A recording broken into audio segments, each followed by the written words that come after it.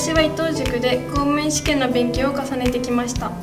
2019年に志望先から内定をいただき晴れて公務員になるという夢を叶えることができました。そこでシリーズ第7弾では大学12年生へ向けた進路の決め方についてお話ししていきます。1自分は何をやりたいのかを考える。大切なのは自分です。将来何をしたいのかどういう人になりたいのかを周りに流されず主観的に考えてみましょう。紙に書き出していくと将来像がはっきりしてきます。ここでは法律を使う仕事がしたいと考える A さん。人の役に立ちたいと考える B 君の例を挙げました。自分の気持ちや今までやってきたことなどを丁寧に書き出していくとおのずと理想の将来像が見えてきます。2業務説明会に参加する。大学等で開催される業務説明会に参加してみましょう。公務員希望の方でも最初は業界を絞らないで民間企業の説明会にも参加するなど視野を広げてみていきましょう。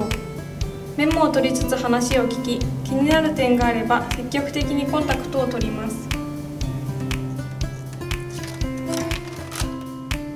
3インターンシップに参加する。3年生になると就活や公務員試験の勉強ゼミなどで何かと忙しくなります。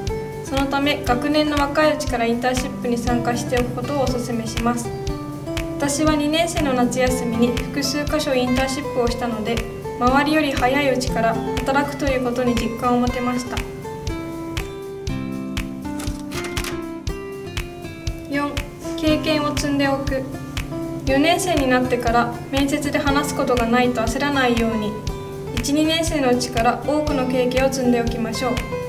いろいろな経験をすることで自己分析にもつながるのでいいこと尽くしです。